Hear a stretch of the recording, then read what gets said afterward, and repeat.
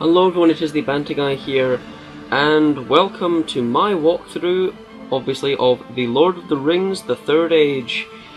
So, this is a game that I absolutely adore, and I uh, thought, what better for my first walkthrough? So, yeah, now, just check the options here.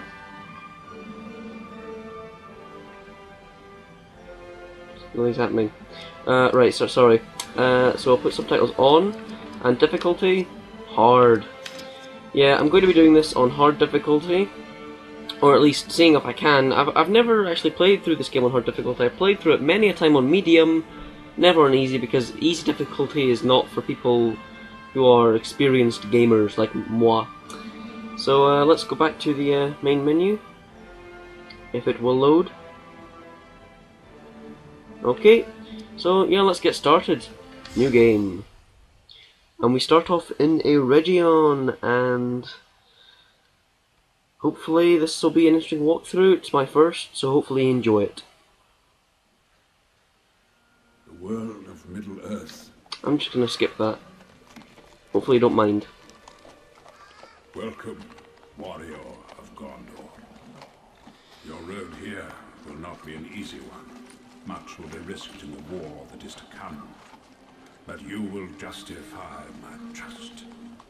This I sense with all my heart.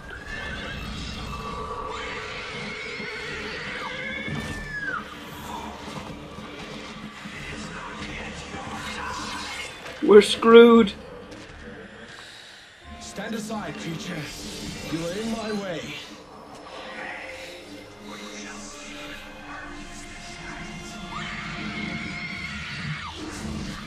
Yeah, I think our hero's a wee bit, just, just a wee bit cocky.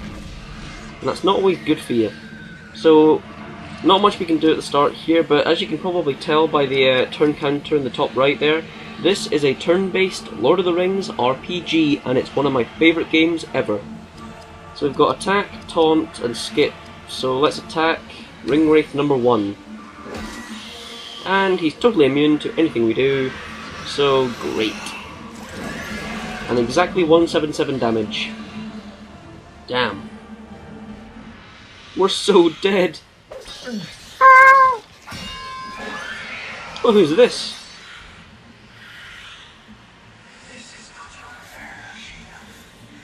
Return to the shadow, slave of Sauron.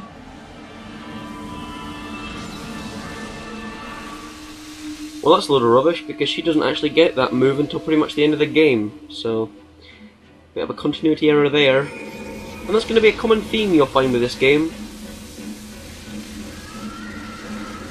Continuity is thrown out the window. But it's a video game, so who cares? What grace has been given to me? Let it pass to him. Let him be spared. To you I bestow this gift of my people. It braces the soul and binds the hearts of others.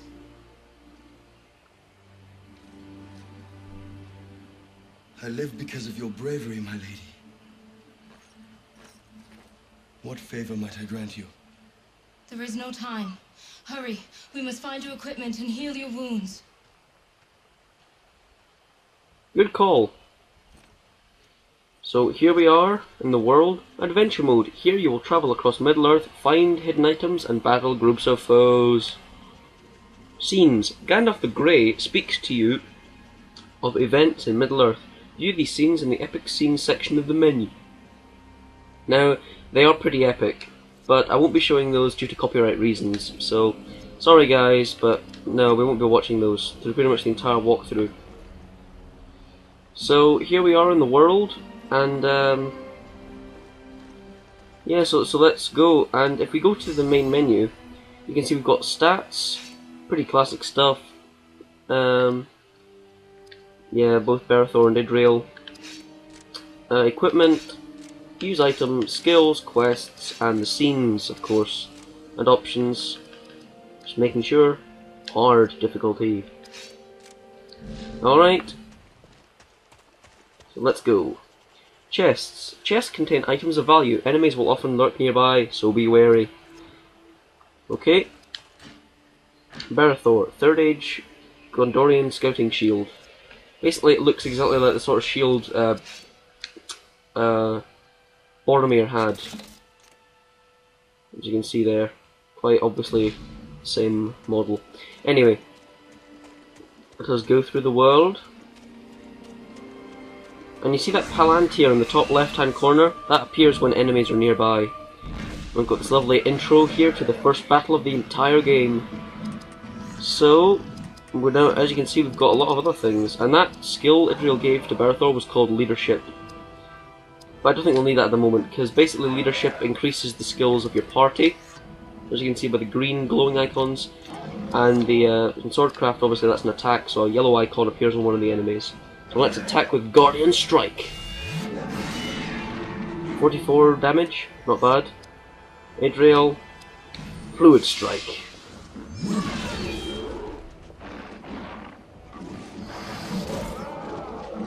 And now I think you pretty much get the gist of how this works. Now Idrial has a different skill, she's got spirit powers. Gift of Elrond, partially heal one member of your party, Loud Water Fury, call a spirit, call a water spirit to attack rather. So let's uh, give Berethor his health back. Alright. Attack!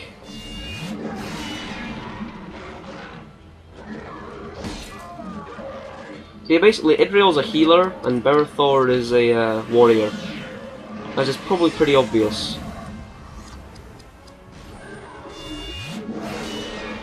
And that's the first battle done. Ah, indeed. And so, here's the experience we earned. Now as you can see, because Berethor killed the enemy, he got more experience. He got 528, and she got 480 in experience. And we, the treasure we acquired from that battle was two Lembas.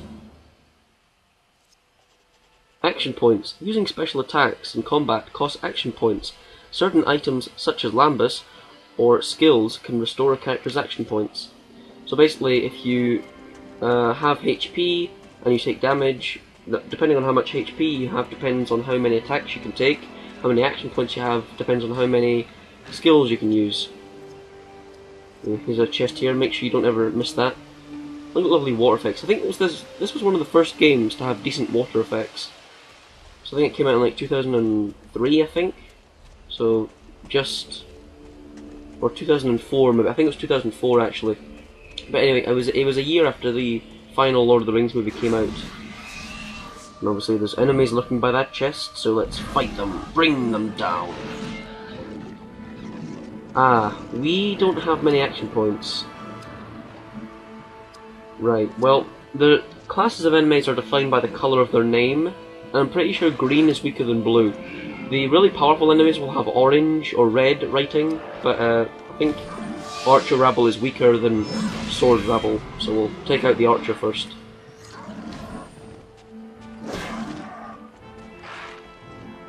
Or at least we'll try to. Whoa. Damn. Double crit. Well, that certainly finishes him off. Attack! Critical hit.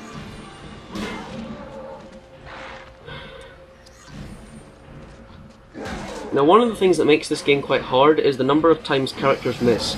Now it's not a problem here, but later on in the game it becomes a real hazard, and you'll see what I mean as we go through the game.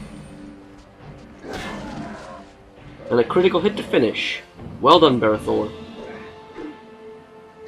And as we do this lovely swordcraft skill at the end to show everyone that you are a badass. And every single character has a different animation.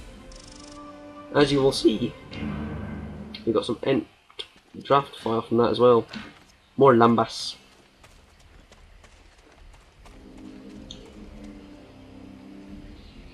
Look at that for a troll. Long bottom leaf. Now before we go any further, we've leveled up, and in leveling up you get these uh, stat points. At the moment we've got two for Berethor and two for Idrial. So as you can see, pretty basic. If you're if you played any RPG ever, you will know a lot about these stats. So strength, increases a character's base damage with both ranged and melee weapons. Spirit increases a character's maximum AP along with an increased in base spirit power damage. Constitution greatly increases a character's max HP and increases defense against spirit power attacks.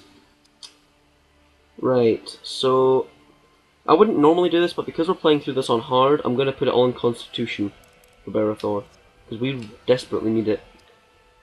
And for Idrial, Constitution, because without it, we'll get slaughtered, honestly. And equipment, pendant, and that's it.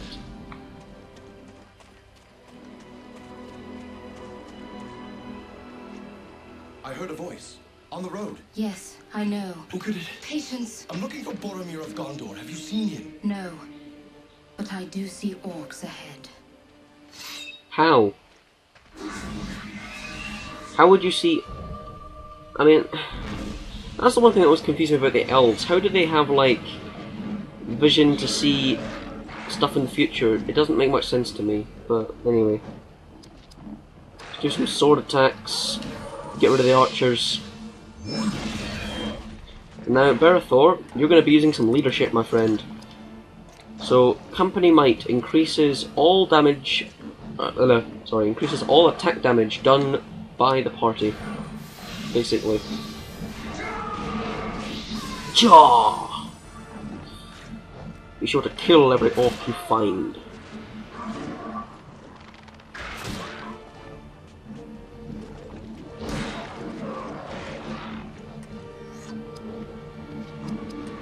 And will I give Berethor some of his health back?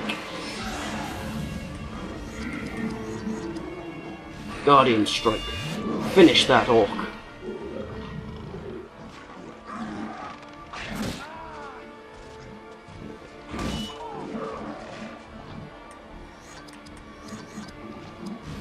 Always get rid of the weaker uh, minions first. Or the Orc Bane, that'll be useful. Think I'm gonna heal myself actually, or is Idrial? Heal Idrial. That was pathetic. you see that? He, just. He, he couldn't even be bothered to get close.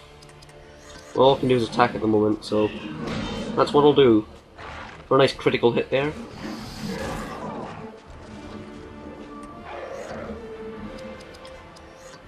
Heal him! Heal him! Kamehameha! We'll soon have that orc killed. Heal Berethor! Heal him!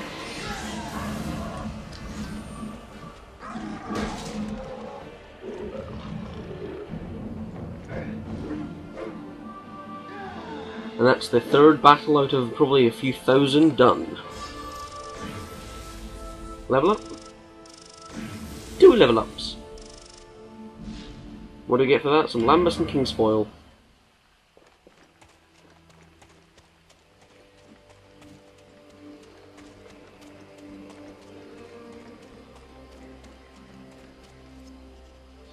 Saving your game. Save points such as these allow you to save your game.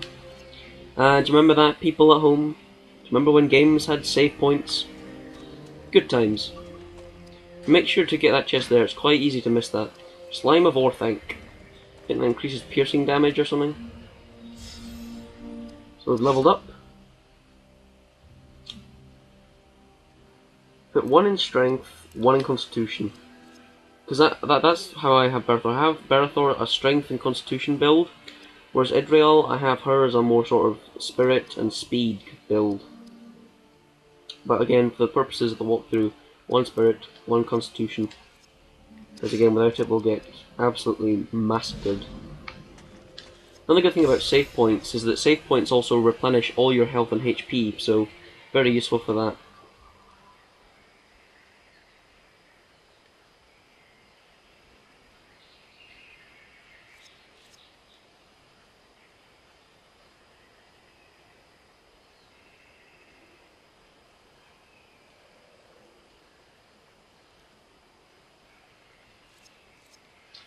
Yeah, something you're going to see a lot of is just going to be the uh, save point screens. Inside, Gondorian. Your wounds must be healed. Indeed. Weapons. Provisions. The elves are very resourceful. Long have we kept such way stations for times of great need. I am Berethor, captain of the Citadel Guard of Gondor. And I am Idrial. I serve Galadriel, Lady of Light. Take what you need, and let us be on our way. Well, that's not posh at all. I serve Galadriel, Lady of Light. I mean, okay, maybe maybe not quite as Irish as that. Items in adventure mode. Acquire items that can be used while exploring to heal and regain action points. Press triangle to access them in the main menu. Leaf of Old Toby.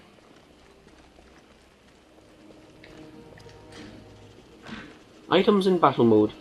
Use the item command in combat to heal companions, harm enemies, and enchant abilities. King's Kingsfoil Leaves and Leaves of Lembas. Berethor. Gondorian Steel Citadel Guard Pauldrons.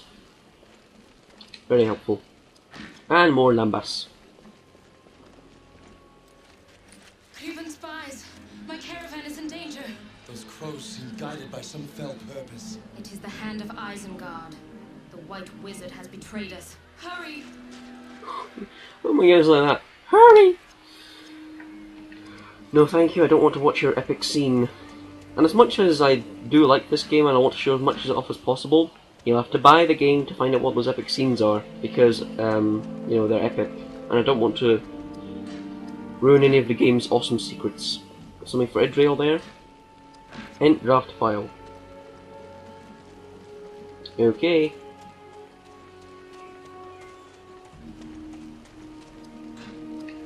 Kingsfoil leaves. Right. But I mean, you see, that one uh, there? Quite easy to miss. And I mean, every little helps, as Tesco says. And if you're unfamiliar with Tesco's, it's a uh, British supermarket chain. Some better pauldrons. And obviously that's just better. Anyway, let us progress on. So yeah, Tesco's are a uh, British supermarket, in case you were wondering. Orcs are amongst them! There are too many. They have no chance. Help me defend them! Badass. I love this line here. This what the orc says.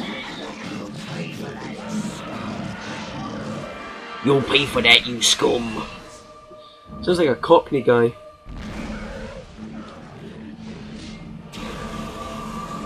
I know what Curse of Orthanc does. Basically, it makes our attacks do less damage, which is uh, irritating to say the least. But as always, let us destroy the minions, and I'm actually going to use Loudwater Fury.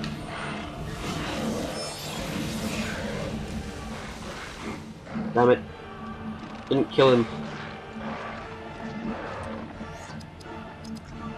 Do some company might to regain our strength.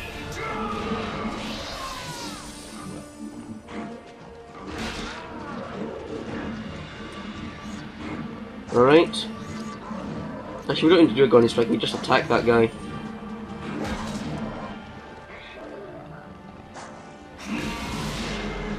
Basically, that's their form of leadership. It increases their momentum and attack power. Very irritating. And yeah, he's just gonna spam that Curse of Orthanc. Coward. Anyway, let's... Yeah, let's do some Orc Bane.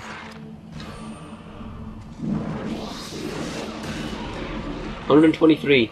That's good damage.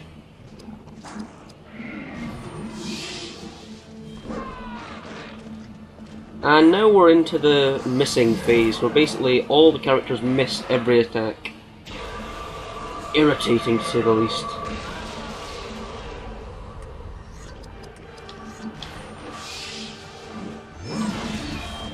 That's him done. Now let's do some Orc Bane. Get rid of that irritating captain. Oh my goodness, this guy has a ton of health.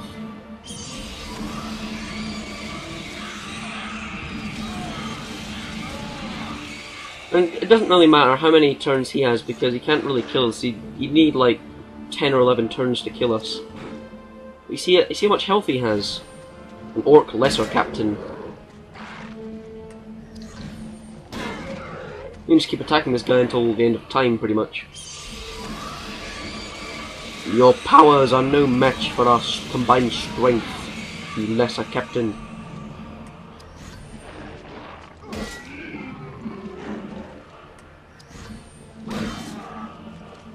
Oh, and by the way, even if a character dies, the character does still get HP, in case you were wondering, because that might be a thing that could come up later. But yeah, if a character dies, they still get H uh, HP, rather? XP. Experience. Level up. Idrial didn't level up. Anyway, Idrial and Berethor got some new stuff. It'll trouble you no longer. You have found him. What do you mean by that? It is nothing. Hasten to Rivendell. I have cleared the road for you. I am grateful, but you must return now to the passes. We saw evidence of recent battle there. Come, Gondorian. Some may still survive. Leveling up. When a character has accumulated enough experience points, they will level up, and will gain stat points which allow you to increase your character's stats. I think we went over that already. Quest completed, defend the Elven Caravan. Bertha got some experience. No, thank you. So let's level him up. Uh, Constitution, definitely. Let's give them the stuff. Now, if you want to see the details, you can hit square. So increases dexterity by one. Not bad. And that's just generally better, more dexterity, always good. Now, because Idrial didn't level up, one of the problems here is that she's got not many AP or HP, so we have to go to the use item screen and uh, get her back up to full power. Alright, I think we're now ready. And uh, if you want to see the quests, you go to the quest bit here until we're in Eregion. Oh, I've unlocked a bit of East Moria, but as you can see, quite a few levels to go yet. Anyway, Eregion. So completed two out of these five quests. We started Rescue at Caradhras Pass, Collect Elf Artifacts, and Hunt the Wildman. That's the one we're going to be doing now. So there are uh, a few Wildman packs around here, and we're going to make sure that they die. So Ent Bark.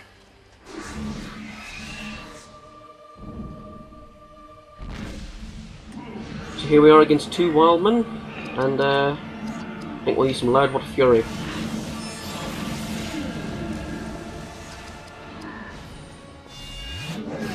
Now obviously Orc Bane is only useful against orcs, so we're just going to use some Guardian Strike for this particular bit. Get some Company Might go in here.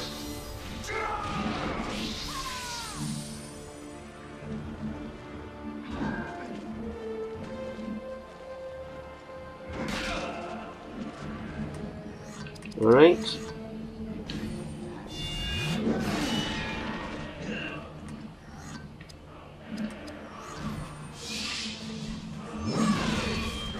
A nice critical hit to finish there. Still up Berethor. He's gonna need it.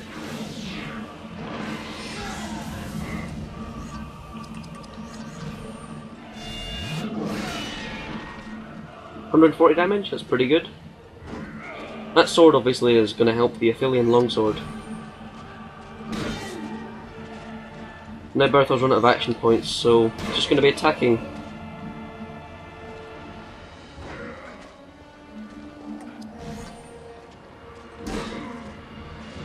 Slash. And that's that done.